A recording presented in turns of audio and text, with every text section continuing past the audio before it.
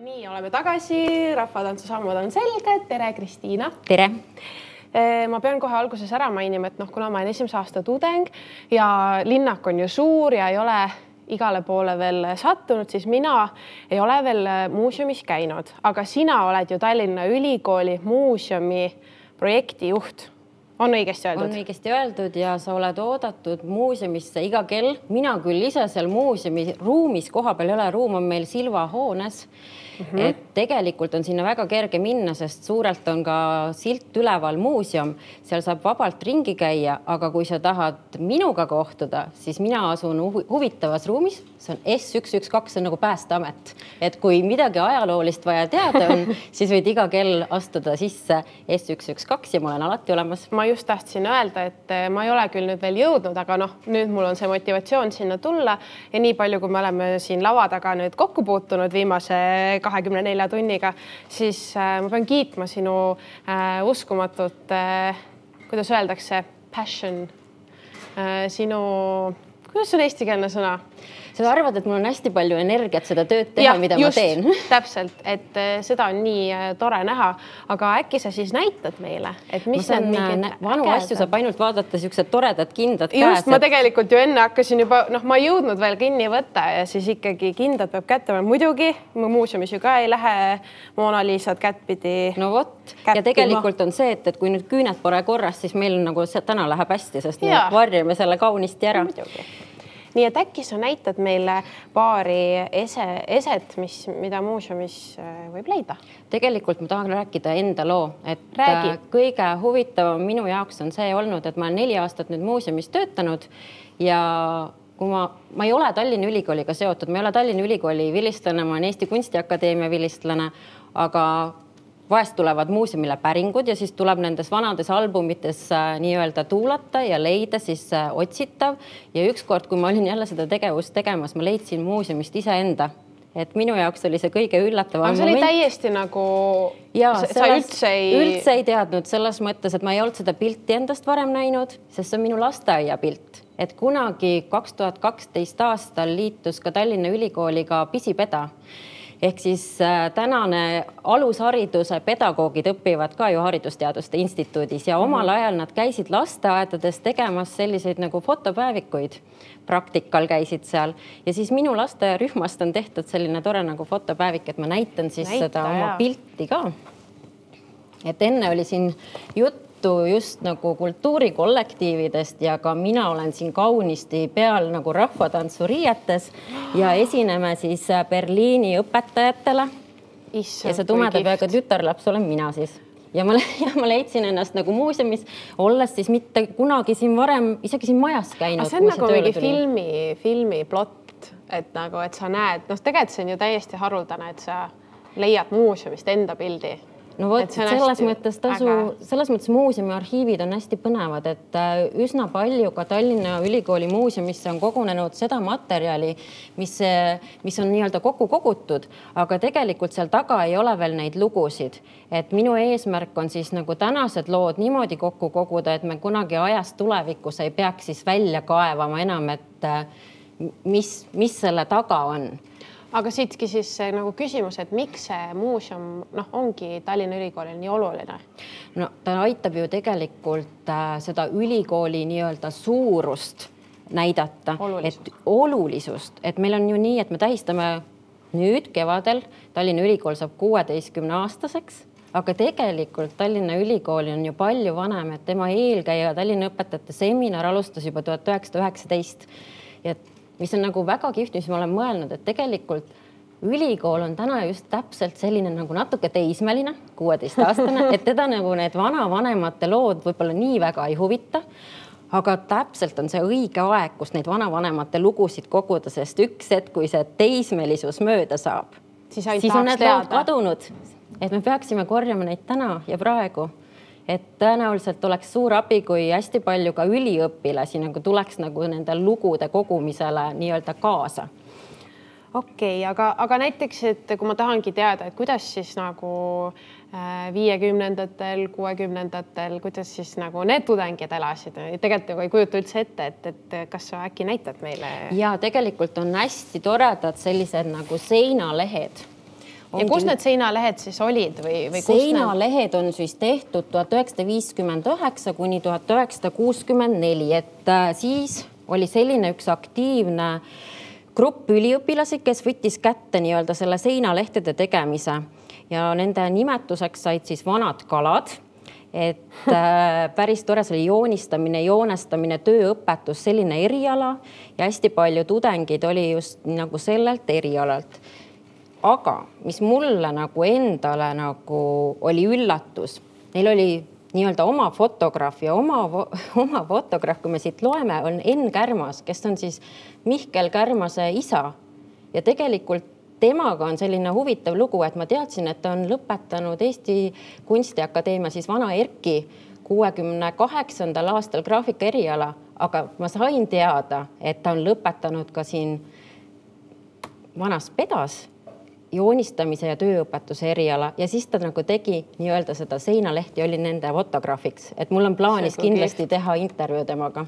ja mõtled nüüd vaata on graafiline disain ja kõik tehakse nagu, et see on nagu ikkagi noh, see füü-, noh, tehakse praegu ka füüsilisi plakateid, aga nagu see eh, noh, kujutad ette. natuke et... nagu tänapäevased blogid, et eh, need inimesed, kes sellega tegelesid, on rääkinud seda, et nad tegid iga kahe nädala tagant, siis tuli üks seinaleht ja üliõpilased nagu ootasid seda ja nad kogusid, kogunesid nii-öelda täitsa nagu suure kollektiivina alati nagu seda vaatama, mis, mis siis järgmiseks on nagu leitud, me võime siit lapata neid natukene. näita ja meile midagi siit eh, põnevat noh, kõik on muidugi põnev. Need on kõik põnevad, et siin meil ongi. liimiti neid. just, et siin on sisseastujatele just täpselt selline seinaleht siis aastast nagu tuhat üheksasada viiskümmend üheksa, kuuskümmend tere tulemast esimese kursuse üliõpilased nii kihvt. et mul on nagu plaan üks hetk, äh, kui olen saanud teha nii-öelda nende inimestega intervjuud, siis äh, ülikooli linnakus üks tore näitus ka nendest seinalehtedest.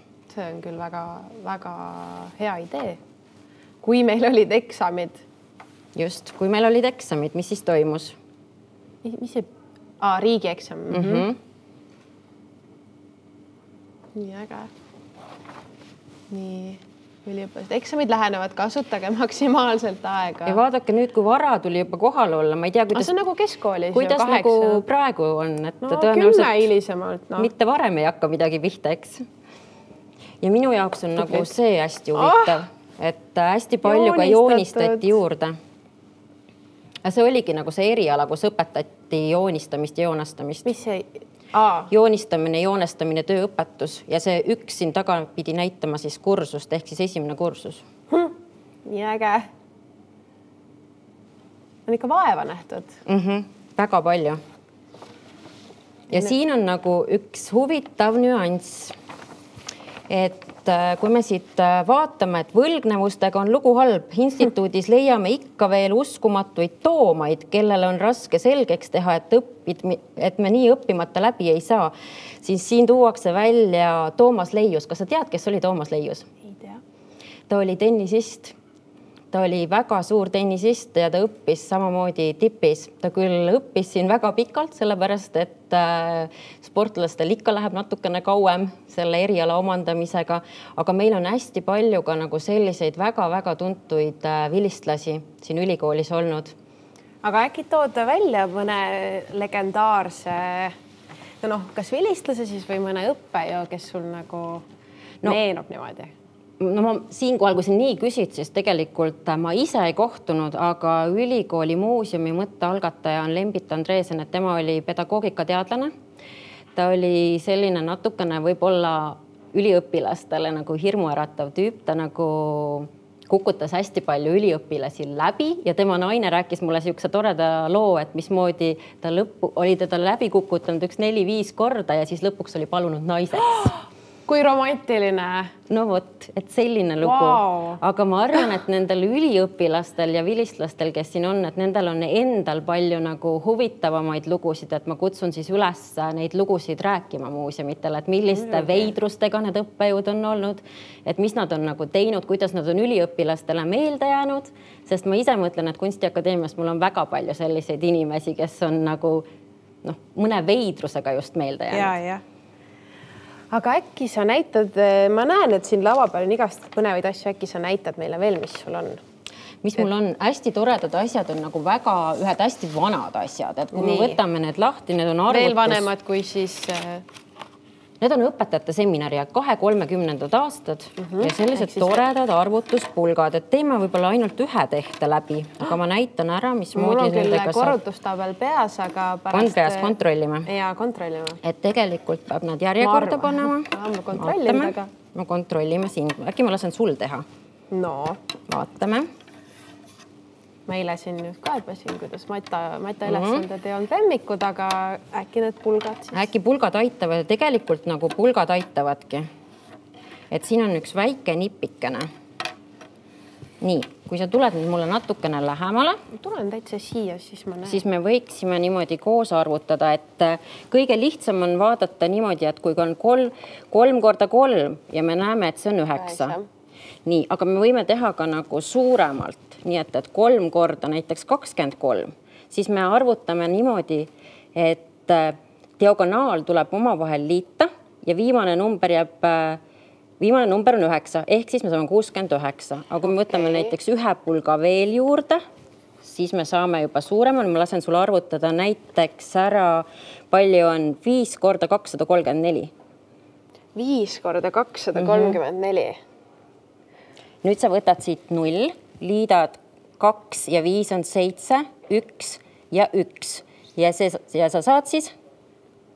ma ei tea, mis ma saan. no proovi. oota, oota, oota, mis ma liidan, kaks?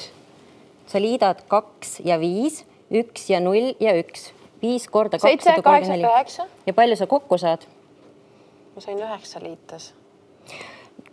sa liidad valesti, et äh, siit sa saad seitse kõigepealt on sul null.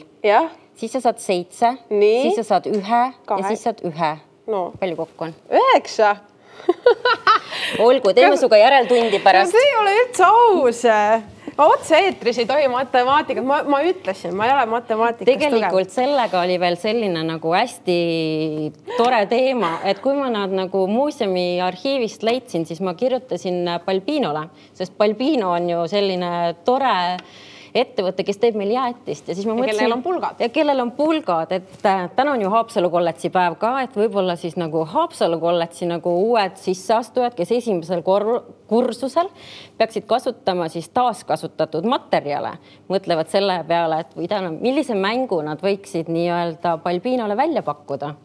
Et neid pulkasid ei visataks ära või nende pulkadega saaks mängida. ja tegelikult siin sa pead nagu päriselt tegelikult mõtlema ka, sest vaata kalkulaatoril lihtsalt lööd sisse, aga siin ikkagi pead mõtlema ja, ja ei pruugi see ikkagi väga hästi välja tulla nagu minul, aga need pulgad on. Äh, aga see on huvitav, et need pulgad leiutati tuhat kuussada seitseteist Tartu Ülikool sai alguse tuhat kuussada kolmkümmend kaks, et need pulgad on vanemad kui Tartu Ülikool. ei, aga mitte need päris pulgad ju. Mitte need, pulgad, mitte need pulgad, aga see süsteem, see on üks Šoti matemaatik, kes selle leiutas. aga need on kahekümnendatest? Need on kahe kolmekümnendatest mm, -hmm. kus siis õpetajate seminaris seda kasutati väga põnev, aga no midagi ei saa teha, siin on õllepudel laual, et, et, et, et ta kohe nagu kutsub silma, et ja äkki sa räägid, et mis see kuusevillem on? See on jällegi üks tore projekt ja miks ma nagu tahtsin seda nii-öelda pudelit, siis mul ei ole seda täispudelit muuseumis, vaid pudel on see lugu, et äh, ülikoolis on selline tore õppeaine, et kõigile nendele sisseastujatele, et äh, kui te tulete siia õppima, siis on selline erialasid lõimiv uuendus ehk eluprojekt, kus siis tegelikult erinevate erialade üliõpilased kogunevad kokku, vaatavad, milline projekt neid kõnetab, mida õppejõud on välja pakkunud ja siis teevad sellise nagu toreda koostööprojekti. Ja seal, sinna on kaasatud ka tõenäoliselt äh, väljastpoolt ülikooli inimesi, aga põhimõte ongi selles, et teha midagi koos ja teha midagi nagu teistmoodi, kui võib-olla igapäevaselt õppetöös tehakse. Ja sealt ongi tulnud see nii-öelda ühine projekt, kus äh, leiti vana õlleretsept. Ja see oli tuhat kaheksasada viis, kui ma nüüd ei nagu eksi, siis selle retsepti järgi tehti see nii-öelda ülikooli õlu, ma võiks nimetada seda ülikooli õluks. aga kas see on huvitav, kas see on esimene, mida Tallinna Ülikooli tudengid nagu ise pruulinud on niimoodi? vot selle vastuse ma jään nagu võlgu, seda võib ajaloolaste käest küsida, et kas nad on nagu enne ka teinud. aga mina nagu just mõtlesin selle peale, et kuna ma ise olen kunstnik, ma olen klaasikunstnik ja teeks ühe toreda eluprojekti võib-olla noortele, kus äh, mõtleme sellele õllele välja klaasi. et see oleks ülikooli siis... muuseumi meene, näiteks klaas. ja tegelikult on ülikoolil oma, olemas ka oma õlu jube äge, aga kas neid täispudeleid ka äh, veel kusagil? pidi olema, üliõpilaskonnas pidi okay. täitsa olema. äkki siis peab minema. mina olen ise ära neid. proovinud selle, see oli päris hea. aga, aga räägi siis veel nagu enda, enda juurde nagu tagasi tulles, et mis sind siis kõige rohkem inspireerib või mis sind noh, et iga päev sa teed seda tööd, mis see muuseumi töö nagu sinu tegelikult mind inspireerib vist kõige rohkem see, et äh, väga palju lood, lugusid on teadmata, et kõik need nagu lood kõnetavad mind, inimeste lood, esemete lood ja väga palju peab nagu leidma neid vanu lugusid uuesti nii-öelda taas ellu äratama. et selles mõttes see ongi väga inspireeriv töö. Väga kihvt, aga ma siinkohal tänan sind ja me kindlasti näeme juba varsti sinuga muuseumis